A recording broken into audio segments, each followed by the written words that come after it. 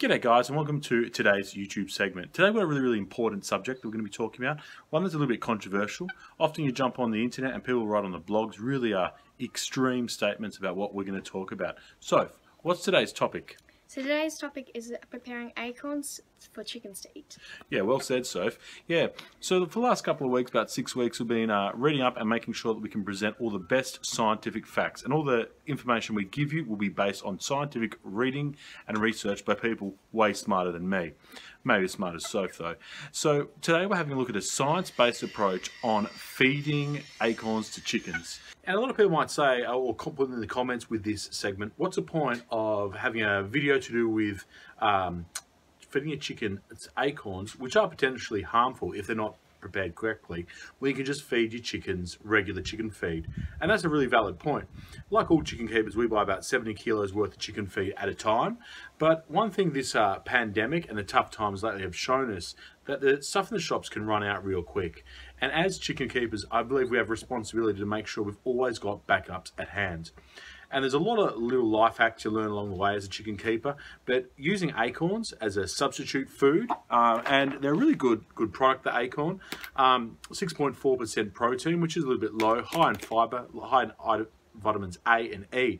But by having a source of acorns, um, and if you compound that by having a really good supply of, say, kurrajong seeds, which are another really good chicken food. A little bit difficult to prepare, but we can do a video about that later. Between the sunflowers that we grow, the kurrajong trees which we harvest, and the acorns, handful of oats or two, we could go maybe another month or so um, without having to buy food if there's an emergency. So in our garage, we've always got kurrajong seeds, heaps of bushels of that hanging up. We've got, we try to harvest about 40 kilograms of acorns a year uh, and also a lot of sunflower heads just from our veggie patch. As I mentioned, chicken keepers are a really good uh, resourceful bunch and making sure that you've got food on hand as our regular viewers know, we love to have a learning intentions and structure to our video. Uh, we've broken up into eight mini segments. Uh, the first one we've sort of talked a little bit about already, the benefits of acorns, nutrition, sustainability and survival. We're just going to give out maybe one more minute of that. Then we're going to do oak tree identification. This one's crucial because when you start reading um, documented scientific journals, they don't use the word acorn, acorn, acorn. They use the the Latin name. So you need to be a little bit familiar with the Latin name if you want to fact check some of the stuff we say. Which number three, Soph? Warnings and danger of acorns. Yeah, there are some dangers and warnings, and I'll talk about studies that have actually shown how to negate these dangers and what they are. Um, and a little bit more of that will be peer-reviewed studies that evaluate the toxicity of acorns. So we'll talk a little bit more about the science um, behind it. Um, Soph? Um, number five is how to store acorns. And that's quickly followed by how to shell acorns. Uh, there's what's called the CAR method or our preferred method. Uh, and this all then will lead to how to make acorns safe uh, to feed to poultry and additional benefits of acorns in permaculture. And before we move on, just say this video is made for both chicken keepers and quail keepers because there's a lot of documentation on uh, quails eating acorns and studies to do with that. All right, let's get into it. As mentioned before, uh, acorns are particularly high in vitamins A and E, as well as quite high in iron and potassium and a range of other minerals. When they're dried, they provide 6.2% uh, crude protein and 0.29% calcium. Uh, they also have uh, phosphorus, which is pretty cool as well. Uh, oak trees uh, do produce a prolific crop, but they're definitely not worth planting in your own backyard if you're looking for instant sustainability. They take about 25 to 30 years to produce a reasonable yield, although they do live for more than 200 years. They're wind pollinated plants, you don't get much in the way of uh, nectar and pollen for any other species, but when it comes to sustainability, they're a great option to boost up your chicken feed. Now the average acorn weighs about 8 grams uh, when it's unshelled. And what you see in front of you is about 46.5 kilograms that I harvested with the help of my students at school, hence the school tubs, which will be sent back after this video if any schoolmates are watching. If you have a look here, this is our leftover harvest from last year. And it's a year old, um, still definitely worth, worth using as chicken feed, it's just left over. There's about five or six kilos here. And one thing you'll notice is there's a, it seems to have lost its luster. One thing with acorns is the fresher they are, generally the shinier they are. Get to know the types of oaks uh, that you are potentially going to feed your chickens or quails. Uh, and the reason I'm quickly doing this segment is when you uh, do a bit of a fact check or read some journal articles online, and I'll give you some references to some really good um, in-depth journals you can read where we have actually tested out the toxicity and effects of long-term feeding of quails and chickens oats right? So just memorize the, or even just hit a screenshot, the actual uh, Latin name. So you got the turkey oak or the Australian oak. This one is the most common one in Australia. Um, now this is uh, followed by the Portuguese oak. Now the Portuguese oak is really uh, really easy to identify because its leaves are more shiny like a camellia and it also is semi-deciduous. Now the English oak is one that you, which I'm feeding my chickens currently. Uh, it's sort of the stock standard oak, especially in Australia, as we were colonised by the British. Uh, and the Portuguese oak is a smaller oak with more of a dusty coloured leaves. Um, often you tell the difference between uh, oaks based on the leaves. But as I said before, really take note or hit a screenshot and get it, get to know the Latin names because they're the names they used in scientific journals. Now, uh, this is a really cool one that you see quite a bit is Quercus castifolia. Um, it's a pretty cool uh, oak. Now, the best oaks are the ones from America, and they're very rare here. But if there's any American audiences, um, sometimes they're called bur oaks, uh, is one type, or uh, Quercus alba. These are the best oaks to feed your chickens and even feed yourself. And you identify these not really so much by the acorn by the leaves. If you turn, if you go to an oak tree, turn it over, and the the back uh, of the leaf is white, you've hit the jackpot. Because all oaks are uh, edible, but they have different levels of moisture, size, and most importantly, tannin. And the white oaks have the least tannin, meaning they're the easiest to feed your your chickens or quails, and they're the most palatable for yourself. All right. Now let's uh, we may as well jump into the warning and dangers. Uh, they the thing is, acorns are coated in tannic acid, and before you think to yourself, "Oh wow, this is this is uh, horrifically bad news," this is also the acorn's greatest asset. Tannic acid is what's used uh, for tanning. Sometimes people uh, use uh, they get chestnut uh, bark and boil it and get the tannin out of that, and actually use it to to tan um, skin to make leather. Tannic acid is a, a mold and bacteria inhibitor, which means because the acorn is coated in it, it has a beautiful shelf life. You can pull an acorn that's been stored in a warm, cool, dry place, I mean, uh, you can still feed that to your chook after two years and it'll be perfectly fine. So although it is a bit of a curse, this tannic acid, uh, and we'll talk about what happens if chickens have tannic acid scientifically later, um, but it can be removed through regular soaking. Yeah, so now we're at the science uh, part of our segment. So if you so if you just jump on Google and, and search for can you feed chickens acorns or can you feed quails acorns, you'll often get a result that pops up. But that result that you pop up is by a company that pays for sponsorship. So it'll say no, untreated uh, are poisonous. However, you click on that and then it'll take you like a, a chicken website or someone selling stuff. So the only way to really get proper information, so is to do this thing called finding a peer-reviewed journal article. Uh, now, what's what is a peer-reviewed journal um, article. Yeah, you're right. It's a bit of a, a, a tongue twister peer reviewed journal, often called scholarly articles. They're an art. They're, what's happened is if you're a university student and you're towards the end doing your honours or doctorate, so at least four years in, you do this thing called a submission paper, and it's a paper usually about a thousand, oh, not a thousand, hundred thousand words, and it's a study you do. And then you might study chickens and eating acorns or ducks eating acorns and you do these careful scientific results and then you do your findings, but then they get submitted, given to experts in the field you are. And those experts do what's called citations. They put their name next to it, meaning that if anything you have is fake, made up, or exaggerated, they get in trouble too. So you're looking for roughly around eight citations for a good article. So it's basically people who've done studies and had it checked by someone smarter than them. So yeah, so that's what a peer review journal is. So when you're looking for information on the net, there's a good website called Jostor, J-O-S-T-O-R, and it's a search engine for just journal articles. But there's better ones out there too. So yes, that's what a peer review journal article. Good question, Soph. What's your next? Do you have any other Um, questions? Yes. What happens if you don't wash acorns? Yeah, good question. So I've got some notes to help me. Now, the information I'm giving you is from the um, it's it's called a journal article called "The Effect of Different Levels of of um, the effect of different levels of tannin on raw and processed acorns." It was it was put in the Journal of Animal Science in the year 2016. I'll put the details down the bottom of the screen with the, the author and so forth. Now, this was a cool test, and, and I like this one because it actually shows that you do have to wash your acorns. Yes, the wood duck, which is an American duck, really pretty, that crazy pretty duck, that does eat acorns in the wild. Yeah. But we don't have red ducks as pets here.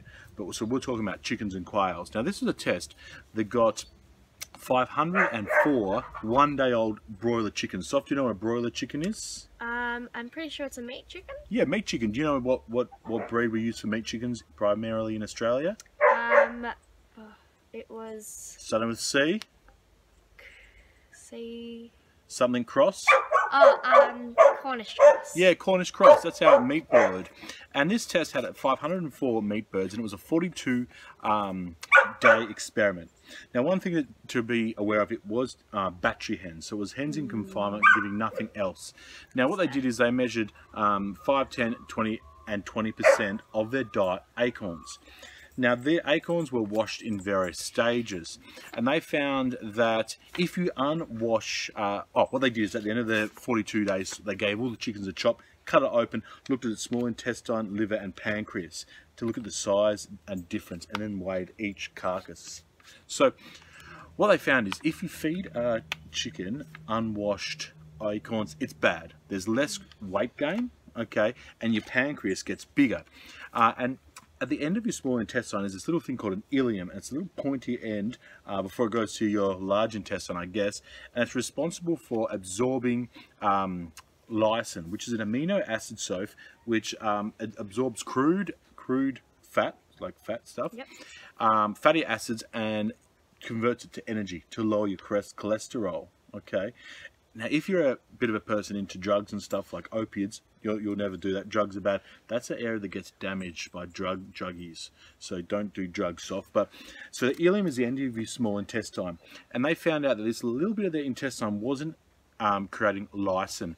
Um, so the chickens wouldn't wouldn't grow that well. They were very unsick, very lethargic. Now, things. interesting though, humans we can't actually produce the the amino acid lysine, so we need to get it from meat, dairy, fish, and eggs. So yeah, and if you don't have that chemical in your body, you can't convert fat to energy and get real sick. But they they found out that soaking acorns twice within 48 hours it almost completely negates the effect. So, um, no problems if you soak twice within um, 48 hours. Uh, there's also studies to say if you cook it though, you lose the omega oils. So the duck dog's really annoying. But um, so yeah, so scientific journal uh, proved through extensive study you have to wash acorns. So if there's anyone out there that thought, you know what, Grant Sophia's onto something, I'm just going to crush up some acorns, give it to them bad idea. And also, this study shows you should never use acorns for more than 30% of their diet. So, it works well for sustainability. Short bursts as an alternate food. All right, Soph, uh, next question for me. What have you got? Okay, does the acorns affect the amount of eggs? Do you mean the amount of eggs laid or the weight of eggs or both? Both. Good question, Soph. Now, this answer, answer was uh, answered in a study in the year 2000 in um, uh, University of Kazar, or Kazar, I can't pronounce it. It's in south of Hungary. And talking about Hungary, they fed the chickens a whopping 30% of their uh, daily meal acorn eggs. And the acorns that they used was a Persian oak, that's Quercus brantii, which uh, we talked about earlier in the video. Um, and the study was called, and I've got some notes just so we uh, get it right, the effect of different levels of acorn seeds on laying egg performance in the first phase of egg production. So do you know what the first phase of egg production is? Um, long pause. The first phase of egg production is when you wait till a chicken's 24 weeks old, and then it's it's, it's basically its first six months of egg production uh, before it would go broody.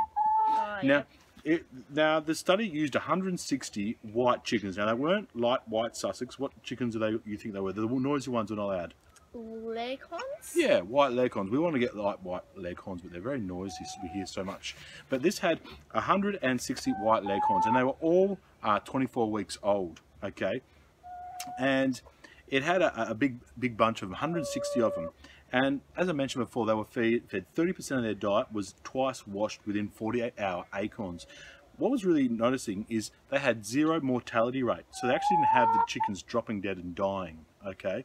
Um, I can infer that Quercus brantii, the Persian oak, might have a little bit less tannin, but it does good for us. However, the downside of such a big diet so far was egg production and egg size was down. So the eggs shrunk and they were lighter. And um, also, they have what they call a high conversion ratio. That means it eats lots of food for what it plops out as eggs. But for a sustainability um, model and the thought of feeding eggs as an emergency food, um, it's a it's a fine substitute. Now, Soph, I know you're looking at the camera because one of our bees has landed on it. Hopefully, it'll walk over the lens soon. Um, so yeah, so to answer your question, Soph, yes, eggs will drop if you feed them a lot of it, but they won't be dying themselves. So as a sustainability food, or to feed uh, every so often, or once they're off the lay, I think it's fine personally. Yeah, good question, Soph. Thank you. Do you have any more questions, Soph? Um, yes, what about quails? Yeah, we haven't talked much about quails, um, although it's on our title, feeding uh, acorns to quails. Now, this was the interest, the information I found the most interesting. Now, the uh, the South African Journal of Animal Science in the year 2000, month was July, uh, did a really really big study with 400 four days old day old Japanese quails, and as you know, South Africa is uh, on Africa. Uh, it's a it's a country that has sometimes a difficult climate. They use what's called Quercus um, cerris, which is the Turkey or Austrian oak, which grows really well there. And there's a lot of them there. I think that maybe from colonization or something. And there was oaks everywhere. And so the South African government wanted to see if it was possible to use um, acorns as a part of their diet, not the whole diet. So the uh, African government um, in uh, the uh, in a university in South Africa did, it, did a study. I've got it written down so I don't get it wrong. It's called shelled or acorn seeds as a diet ingredients on the performance of growing Japanese quail. So as I said, 400 um, four-day-old quails, and they fed them 5, 10, 15, and 20 percent of their diet. Uh, shelled soaked acorn seed. And the idea was the uh, South African government wanted to see if you could get food production while using less uh, bought feed because it's a country that does struggle with poverty. True. Okay. And what they found really surprised me, because as you know, uh, quails need a lot more protein than chickens, right? Yeah. But they found that even if you uh, use a maximum, the 20% of their diet um, acorns, and notice it wasn't 30%, it was 20%, that it had zero difference in food conversion, weight, uh, and size. But remember, in South Africa, the quail was more seen as a food bird to be eaten rather than the egg. So it didn't study the egg laying, but it found that there was 0% mortality rate, meaning none of the quails died during the study. Which is pretty crazy. So, cool. and then the uh, African Agricultural Department even went so far to say in, in, in the article, as a response to the article, I mean, that they suggest that all uh, African farmers who are struggling uh, should include 20% of their diet acorns because acorns are so plentiful and not used. So if you're a quail owner like me, it's actually better news. Um, the quail, although it needs more protein, its its intestine, uh, small intestine, seems better to deal with acorns. So while acorns may be a sometimes food, get out of jail food, or just something used for six months in Australia, if you've got um, if you've got quails, you can use it all year round, but don't max out more than 20%. Now, as you know, Soph, I've got heaps of journal article facts and I could talk for ages, but as you know, we've got heaps and heaps of complaints that we, we A, talk too much and our videos go too long. So we're now going to jump into the next section, which is my really favourite one, is let's start cracking those acorns. Whoa, even this guy's excited. Look at that. Wow, she's flapping Okay. around. Okay, Yeah, so so just hand, just so I'll just talk to the quail. So what we're going to do now is we're going to do a little segment on shelling acorns. Our method, another method, and getting them ready to eat. And I can tell you're a bit hungry, so let's get into it. Now up to the fun bit, getting our acorns ready for consumption by poultry. Now it takes a little bit of work, but it's no more work than, for instance, getting olives off the tree into a jar, which takes quite a bit of time. This is a lot easier than that. I just made that comparison so people don't freak out thinking this is a huge job. You got to get them crushed, uh, shelled, and strained. Now one way to do it is to get an old poultry bag that you used to have your feed in and start filling it two thirds with acorns. As you can see, Soph's filled an old poultry bag two thirds full, and she's just in the driveway putting it in line with the front uh, right tyre. Uh, usually it's good to roll up the end just to put it under a bit of pressure, but she's just making sure it's flat and, and ready to be driven over. Now, it's always fun driving over things, don't get me wrong, as long as it's not kangaroo or small children. However, this, although fun, is definitely not the most effective method. If you don't have uh, any other tools, it will definitely do. If you've got 40, uh, over 40 kilos of acorns for us, it's definitely not economical or worthwhile because you've got to roll over it, check it, and roll over it again and again and again. Um, but if you want efficiency, go to your local, uh, go to your garage, grab your old uh, wood chipper out, and this is both entertaining and incredibly satisfying. Just make sure you wear eye protection and ear protection because they do sometimes get spat back out at you, the acorns.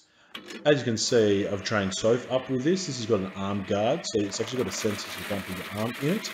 Uh, but you'd never ever let a child do this without full, full supervision. And ignore the dog going absolutely troppo in the background. You'll notice also the ducks and the chickens will start milling soon as we're milling around. Uh, because we've done this uh, over the last six years and they're sort of aware of what's going on. And with a wood chipper, not only is it satisfying, you get a really, really good even chop. Now, if you're feeding quails, all you simply do is put it through the wood chipper and then get that scraps and put it through again.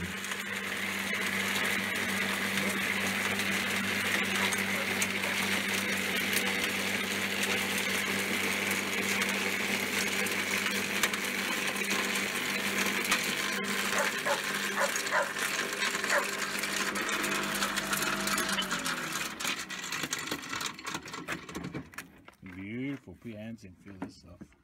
So oily. Oh wow. As you can see, all the chickens will start hanging around looking at what you've got. If you're uh, chopping up or grinding up turn it on your acorns and a couple spill and get eaten by your chooks, since it's only a handful, it's definitely nothing to worry about. We've been doing this for the last six years. Uh, 99% will go obviously straight in the bucket, ready to be uh, strained. But that little 1% that falls to the ground, don't freak out if you see a chicken's um, or even your dog having a munch on it because it's such a minute amount it literally does nothing. As I said, we've been doing this now for six years. We've never lost a chook. Uh, and a dry scrap here that will cause no harm. And we just put a, the second bit of footage in because it's just so incredibly satisfying to watch.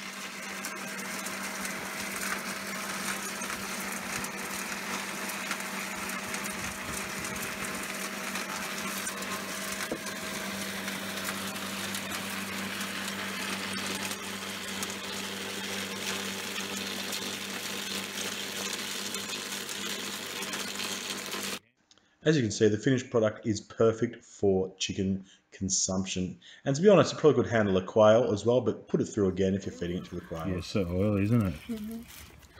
Now.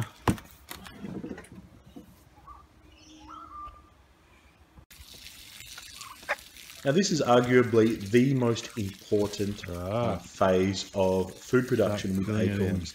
It's the soaking to leach the tannins out. Now, use just usual tap water. You want to completely submerge the acorns and leave them for 24 hours strain it, and then submerge it again and leave it for another 24 hours. So that's 48 hours with two strains. As I mentioned before, it is crucial that you fill the acorns up so the waterline is above the acorns.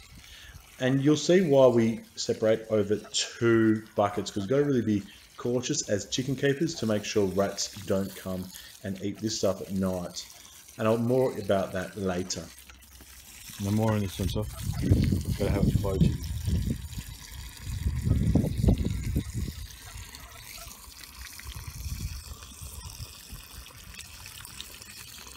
Now when you finish watching our beautiful Muscovy ducks ferreting around for bugs, I want you to just have a look at the colour of this water. The tannin doesn't come out instantaneously. You'll notice when I pick a handful up, it's got a little bit of colouring, but still relatively pale.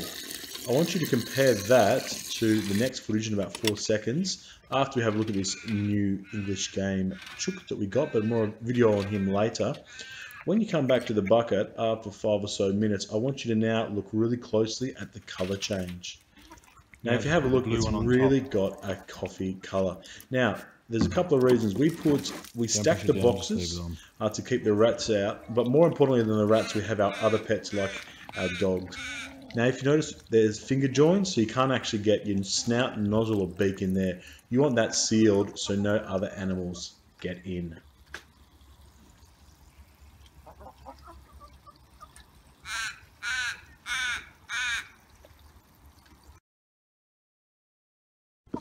As you can see, the chickens are really excited about this draining process. Uh, they've seen us do this for years, so it's a bit of a common place in our backyard. But you'll also notice when we do our straining, we do it around our exclusion pen for our new chook, just to help familiarise the, the birds with the new chook.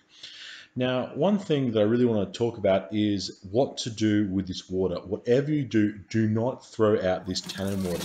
This is equivalent to brown gold in the garden. See, the thing is, tannin are astringent, mouth puckering. Um, they have these things called polyphenols, bitter ones, and they're effective at deterring deer, possums, and other herbivores. And this is all proven in a journal report called Condensed Tannins as a Deterrent to Crop Depredation by Whitetail Deer 2019. It was done by the Wildlife uh, Facility in South Dakota, which showed an 89% reduction in food crops. And it's a non-lethal way to protect your plants. We use it around our cherry trees near our beehives because it's also really effective at getting rid of those pesky insects. Uh, this is also information that I got from a book called uh, Current Developments in Biotechnology and Bioengineering by Dr. S.Y. Rao uh, in 2017. And in his book, he talks about how um, adding tannin to leaves of uh, food crops um, affect insect growth by binding proteins and reducing the insect's ability to absorb nutrition. So this is a really vital, vital thing. So we store all our, all our tannin so we can use it at a later stage as an organic uh, insect control mechanism. And also, as mentioned before, don't worry if your chickens or ducks peck around and get some of the scraps as you're straining uh, your acorns. Already there's a huge reduction in tannin, although I've only soaked it once. But such low uh, bits of food pecking here and there uh, will not adversely harm your chook. As I mentioned, we've been doing this for six years without any worries whatsoever. Now what we've got to do is um, make sure you put a lid on your tannin so no animals can get into it and then leave for another 24 hours and strain again. So now at the final stages of our food preparation when it comes to acorns, you'll notice the water in the bucket when we cut to it in a couple of seconds is a lot less dark than the original batch. We actually don't keep that tannin water because we just assume it's less concentrated. And also we've already got a 10 litre bucket of it, which is enough to do our fruit trees for pest control.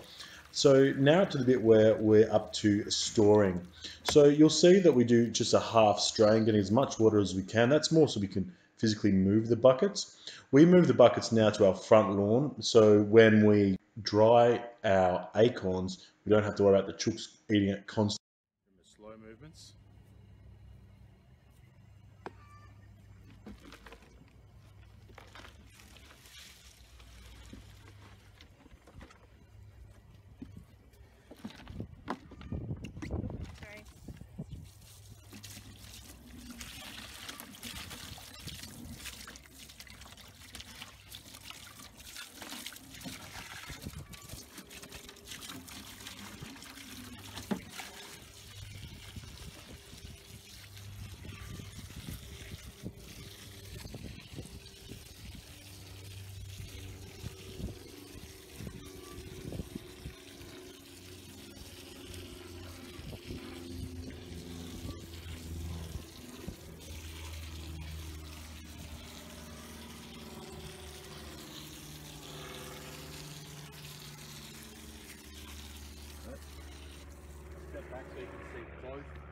Trays in the sun and hold it there for Go for it, Soph.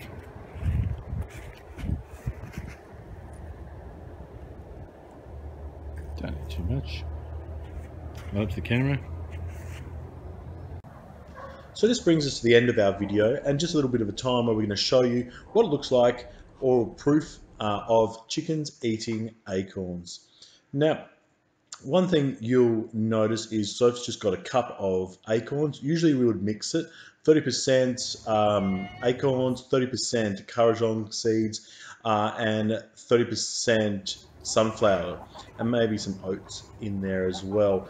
But this is just to show you how much they like it. And if you notice how much more aggressively the chickens are eating uh, the acorns, uh, that's just evidence that there's a lot less tannin and they're a lot less bitter. So they're really, really getting stuck into it. So that sort of brings us to the end. Um, get, get into it. It's a really good way to be a bit more sustainable, a bit softer on the environment, and it's also a great emergency food. So if you follow our steps, you're guaranteed to be able to have a healthy diet of acorns for your chooks uh, without poisoning them, poisoning them, and helping the environment. All right, guys, thanks for watching. Don't forget to like and subscribe, or feel free to leave any feedback in the comments. Thank you. Goodbye. Don't forget to like and sub- subscribe. Thanks, Soph. Already said that. Don't forget Oh. to say goodbye. Bye.